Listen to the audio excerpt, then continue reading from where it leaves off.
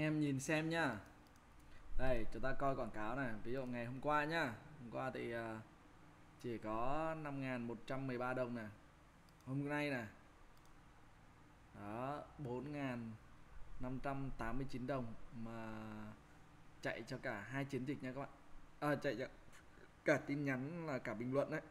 Thì tương đương nó khoảng tầm hai ngàn rưỡi à, một cái data thôi nhá. Rồi số tiền chi tiêu là 279 ngàn này. Mình chia nha các bạn. À, 279 279 ngàn này. Được chưa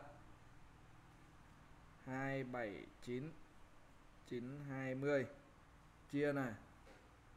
À, 56 với 61 là 117 117 có là 2392 đồng. Thôi nhá một data đó là hôm nay. Còn hôm qua này. Hôm qua là có 79 cộng 60 là 139 đúng không? 139 à, 139 mà tổng chi phí ờ, hôm qua chạy là hết bao nhiêu tiền? 403.944 đồng. Được chưa? Chia cho 139 2.900 đồng. Có là ngày hôm qua đắt hơn đúng không? Còn hôm nay. Còn hôm nay. Đó, nó rẻ hơn. Vậy thì làm sao để chúng ta chạy được rẻ như thế?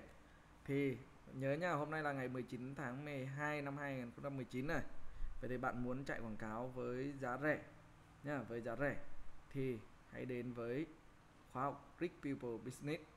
Chúng ta sẽ học được cách chạy quảng cáo cực cực rẻ và quan trọng đó là càng về sau giá càng rẻ, càng về sau giá càng rẻ.